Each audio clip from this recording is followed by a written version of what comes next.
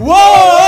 Uou! Fonzari novamente ficou pra trás aí, né? Ué, se eu fiquei esperando, vai. Mas tá valendo. Sejam bem-vindos a mais um MM Responde. Esse quadro aqui, onde a verdade sempre conecta nós, conecta você, conecta todo mundo desse canal lindo, maravilhoso. Eu sou o Lucas Leone. Eu sou o Gabriel Camargo, de boca cheia. Eu sou o Fábio Fonzari. Tem boca nossos. vazia. Para de interromper, caramba! Tem nossos Instagrams aqui. Sigam-nos lá no Não, Instagram. é aqui, na verdade. É, eu fiz assim, ó. Ah, você fez com o dedo pra cima. Isso, ó. É, é. Mas pera aí, antes de começar, lembrando que este MM Responde aqui é em comemoração a quantos inscritos? Vini Mel? 100 mil. 100 mil inscritos. Não é um pai, não é dois, não é três, não é 4, não é 5, não é 99.998, não é 9.999. Sim, são 100 mil inscritos. Aê! E por isso teremos a 100k Party, mais conhecida como 100k Party, que será dia 25 e 26 de agosto em Black River, mais, conhecido- Black. mais conhecido como Ribeirão Preto, nossa cidade. Nossa, vocês Sim, somos de Ribeirão Preto. Na verdade, o Fonzari é de Pradópolis. É, o Exatamente. Fonzari, na realidade, o Fonzari, é, Pradópolis é um spin-off de Ribeirão Preto. E aí, a festa será numa chácara, ficaremos dois dias juntos, reunidos. Então é isso, se você quiser comprar o seu ingresso, o convite para a nossa 100k Party, entre missãomusical.com.br. Lá tem vídeo explicando todas as informações do que vai ter, o que não vai ter, open food, open bar, Pelos- convidados especiais. Pelos meus cálculos, tem cinco convites, ó. Cinco convites disponíveis apenas. Vai acabar no final desse vídeo, então vai lá e garanta sua vaga. E então é isso, acabou o jabá. Vamos para as nossas perguntas de hoje. Fique ligado, roda a vinheta, editor. Primeira pergunta do dia, Samir Alexandre. Muito obrigado, Samir, pela seu, sua pergunta enviada na aba comunidade do canal Missão Musical. Vocês preferem Little Mix ou Fifth Harmony? Olha aí, hein? Polêmica, hein? Olha, Ruge. Ruge? Ruge. Então, ruge aí pra nós. Miau. E aí, Fonza, Fifth Harmony ou, ou é, Little Mix? Eu prefiro o Fifth Harmony. Eu também. Little Mix. E você, amiguinho, prefere Little Mix ou Fifth Harmony? Comenta aqui embaixo. Comenta aí, é isso aí. Vini Mel, você também, vamos dar opiniões. Qual você prefere, Little Mix ou Fifth Harmony? Nenhuma dessas aí é do Pará, não?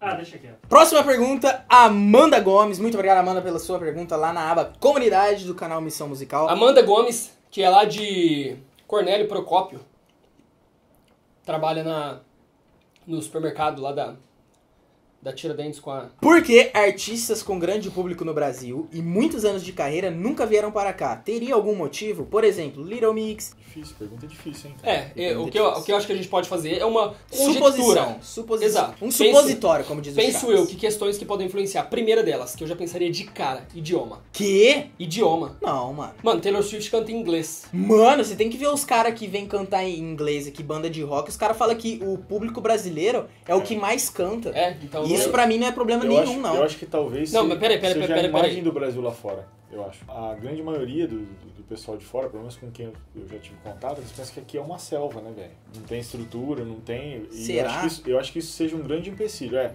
Inclusive eu já vi bandas de rock, tipo assim, que nunca vieram ao Brasil e vêm pela primeira vez, ficam espantados em ver a estrutura que tem aqui. Que eles não esperavam que aqui fosse daquela Uhum. forma. A gente, tá, a gente tá a nível mundial hoje em dia, né? Mas muitos se surpreendem. Inclusive, se surpreendem também com a participação do público brasileiro. Esses artistas pode ser que não saibam que eles têm esse, a quantidade de público É. que eles têm aqui Ah, cara, mas eu acho que eles deveriam saber por mídia social, é isso que eu ia dizer. É, eu Os acho caras que... conseguem traquear isso Não, e e saber. o- Talvez isso seja o motivo de que muitos não venham. Tipo, sei lá, Taylor, por exemplo. Ela vai lá, vai ver os acessos no YouTube. Hum. Beleza? Aí de todos os países, tipo, Uganda tá na frente do Brasil, sabe? É, pode ser uma- um E supositório aí ela também. supõe que se ela vier, se ela vir pra cá, São vários fatores. não vai ter né? público, Eu- não vai ter. eu é acho que difícil, E, aliás, é aliás, aliás, Mas vai eu- muito do contratante também. É, é isso que eu ia falar agora. Eu acho que é muito de das empresas que organizam os eventos aqui.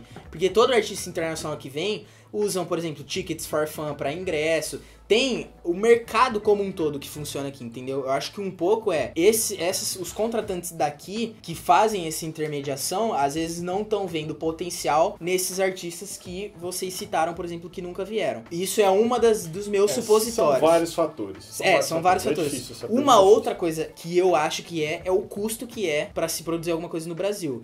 Às vezes, taxas, é, imposto, custo de estrutura, de equipamento, pode ser também uma, um fator que determina. Por exemplo, se o cara tem que escolher entre vir pro Brasil e ir pros Estados Unidos, um exemplo. Só que lá ele lucra duas, três vezes mais. Sim. Pode ser uma coisa que influencia. Sim, enfim, pergunta difícil.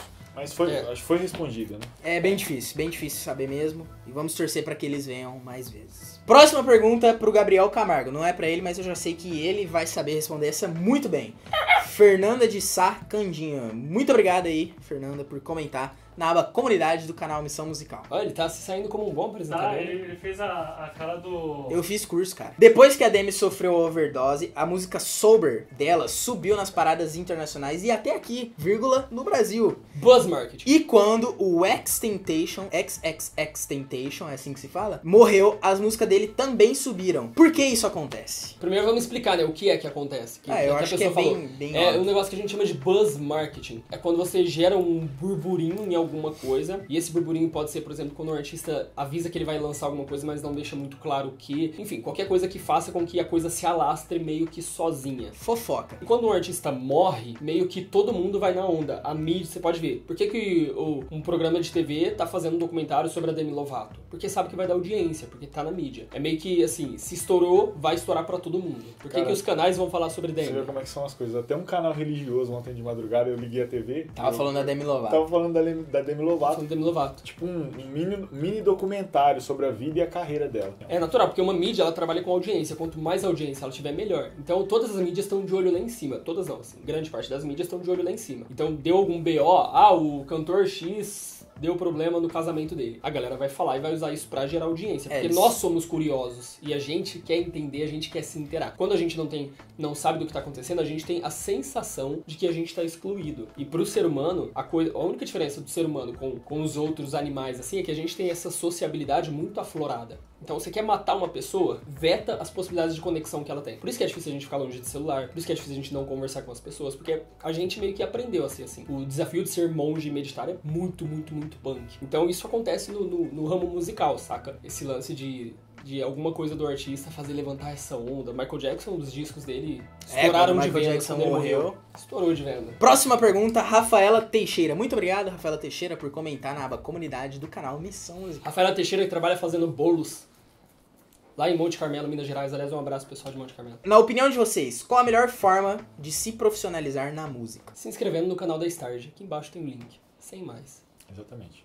Exatamente. Se você quisesse fazer medicina, o que, que você ia fazer? Você ia estudar. Substitui carreira na música por uma carreira em algo que já está estruturado. Por exemplo, medicina, engenharia, seja lá a carreira que for. O que você faria? Você ia investir na sua carreira? Você ia fazer faculdade? Você ia se virar? Você ia perder tempo? Você tem que fazer tudo isso na música. Nossa, Gabriel, você abriu minha cabeça, faz sentido. Fala, É, é que aí entra um grande problema, que é o que ela falou aqui, se profissionalizar na música. Muitos músicos acham que eles se profissionalizar é ele ficar Comprar um instrumento e ficar tocando dentro do quarto. comprar um instrumento e ficar tocando dentro do quarto. Isso só vai fazer você tocar bem, não vai fazer você se profissionalizar. Profissionalizar quer dizer profissão, quer dizer negócio, seu trabalho, beleza? E tocar bem hoje em dia não é o suficiente. É o, Tocar é bem o de hoje- menos. Tocar bem hoje em dia não passa mais, não é nada mais que a sua obrigação. Sim. Você tem que ter outros atributos para poder chegar lá e se profissionalizar. E onde eu aprendi esses outros atributos? Starge. Music. Então lá você vai ter um pouco de conteúdo sobre music business, negociação, é, marketing, conteúdo pra carreira musical. Vai ser muito legal. Se inscreve lá, youtube.com/barra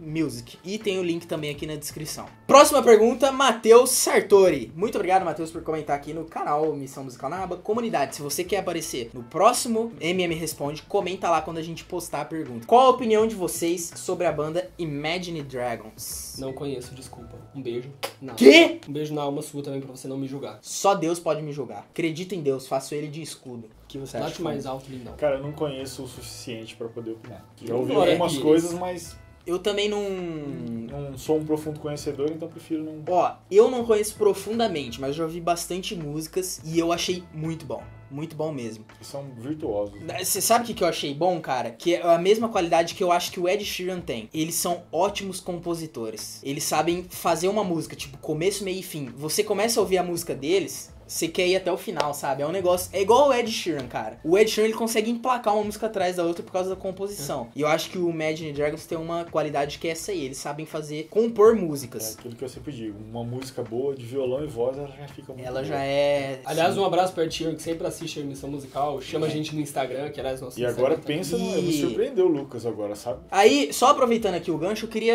é, que vocês, amiguinhos, que sempre acompanham Imagine Dragons, você viu que tem muita gente pedindo react deles, É né? amiguinhos. Tá, amiguinhos. Em breve a gente vai fazer um react deles, porque tem muita gente pedindo. Tá, primeira Só coisa. que eu tenho uma dúvida. Quando eu vi Imagine Dragons, eu não consegui entender é, exatamente, porque eu não cheguei a olhar discografia, letras profundamente. O Imagine Dragons é uma banda que representa muito forte o movimento LGBT ou não? Eu fiquei com essa dúvida. Comenta aqui embaixo, explicando um pouco da história deles, o que eles defendem pra gente entender também. E aí no próximo react a gente vai também fazer um deles aí, mais pra frente. Então é isso, chegamos ao final de mais um MM Responde. Esse aqui eu acho que é o 11. Esse aqui é o MM Responde, responde de comemoração aos 100 mil inscritos. Então beleza. Então é o 10. Não, é que vai sair um antes de comemorar 100 mil. Então tá errado, tinha que ser o 10, porque 10 mais 0, 100. É, mas você não calculou com raiz quadrada, né? É, mas se você pegar a massa do Sol e a gravidade influenciando. A massa do Sol é uma coisa. Eu quero saber o centro de massa do sistema solar. Você sabe onde é? Mas pra você calcular isso, você tem que pegar os alinhamentos dos astros no dia e na hora que você quer saber. É, é, É. é. Você viu o que aconteceu ontem, né? Enquanto Gente, os passarinhos pastavam a as se vacas, pulavam de galho em galho alegremente, o negão careca expulsa Corta. o cabeleiro loura sol e dizia, mundo, tu és uma bola quadrada que gira parada no barco sem fundo de um rio sem água. Aliás, isso está escrito no livro 100 páginas, sem letras, onde os quatro profetas do Apocalipse, na verdade, são três, Moisés e Elias. Beijo, mãe. Até o próximo vídeo.